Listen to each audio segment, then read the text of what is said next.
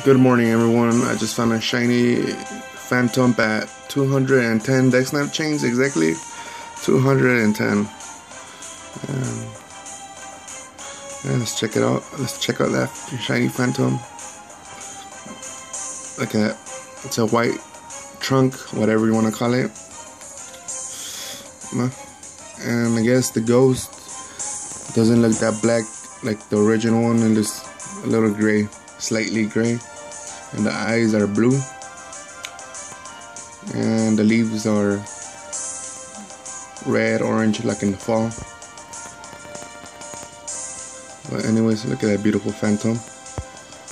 Trying to get a better focus on this. Oh, can't wait to get my capture card soon.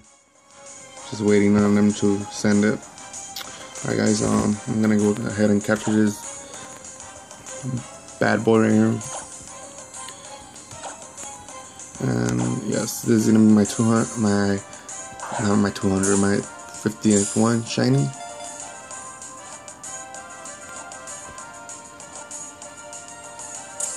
There you go, that was easy. Alright, let's show it off in battle. Then I'm gonna go for, what's that one Pokemon called? Uh, I called I can't remember his name, but where is he? I'm gonna go for this one next.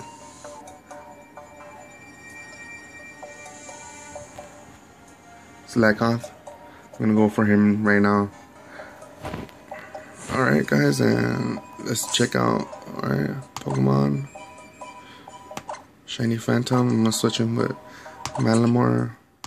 And let's see summary. So natural cure. All status conditions heal when this Pokemon switches out. Not bad. There you go. Shiny. Shiny Phantump. Alright.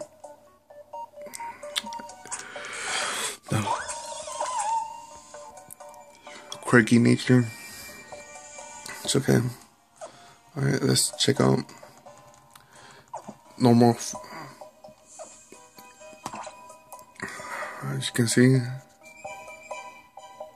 that's a brown trunk and slightly darker ghost okay let's gonna uh, gonna try to find another one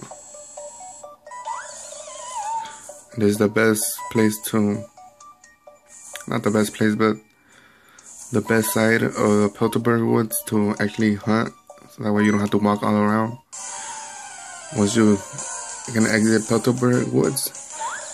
There's a tree you need to cut. Yeah, just keep going to the corner. You'll see that. There you go, shiny Phantump. You're gonna see uh, the little rock. I guess that's where he evolve. Oh, what's the name? Leafeon, I guess. That's where you get. That's where you evolve Eevee to Leafeon. If I'm not mistaken. Well, there you go, guys. You finally saw a shiny Phantump versus original non-shiny Phantump. This is where you are here. Once you see that rock, you just come to this side. See, this is where I, do my hunting, my shiny hunting. I think it's way easier. See, once you exit the Petalburg Woods, just come over. Before you exit, just come here, cut. I'm gonna put on the repel. Just come all the way over here. This is my strategy. Just come over here in the corner. I'm gonna battle him, but it's a Taillow. I know it's a Taillow watch.